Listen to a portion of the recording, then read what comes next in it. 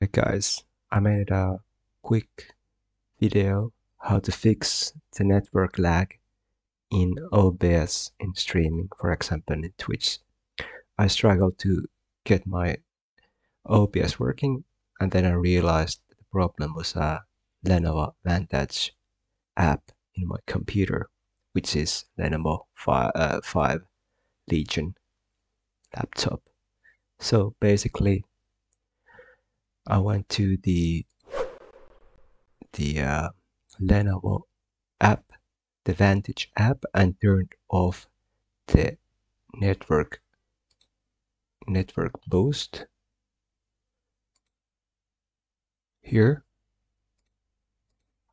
these are turned off, and also I checked that the, we have performance mode performance mode on in the uh, laptop, which helps also also with the uh, network connection.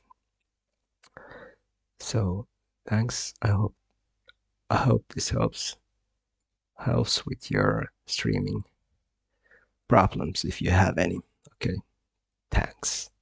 See you later. Bye.